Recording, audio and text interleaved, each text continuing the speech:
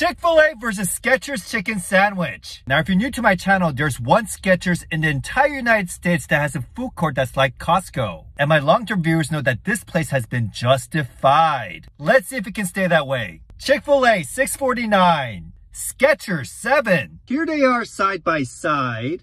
Chick-fil-A weighs 187 grams, while Skechers weighs 275. And doing the math, we see that Skechers gives you 36% more food per dollar. Does Chick-fil-A taste 36% better? Let's find out. And before we begin, let's try Skechers churros.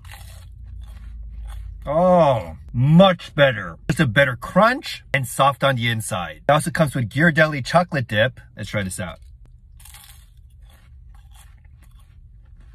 Costco takes the L. Let's move on to the sandwiches. Chick-fil-A first.